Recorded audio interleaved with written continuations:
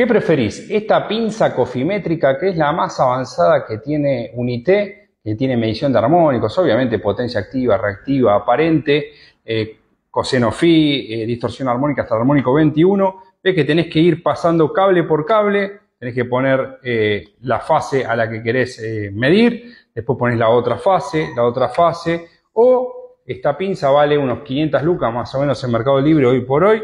o este analizador ME237 que es para bobinas Rowoski, ven,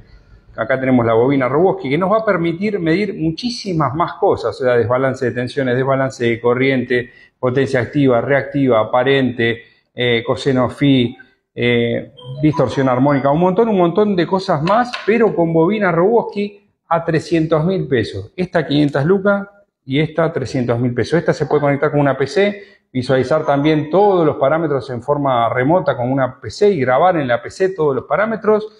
Eh, y la gran ventaja es que podés usar este tipo de bobina robot, que acá te estoy mostrando la más chiquita, que es la de, la de 36 milímetros, pero tenemos de 36, de 100, de 150, de 200, todas las medidas y te van a permitir pasar, en muchos casos, con una pinza amperométrica, vos tenés una termomagnética tetrapolar y no podés meter, imagínense que tiene un conductor acá, acá tienen otro, acá que tienen otro, entonces no te entra la pinza amperométrica entre medio de los cables. Bueno, contame, a ver en comentarios qué preferirías vos.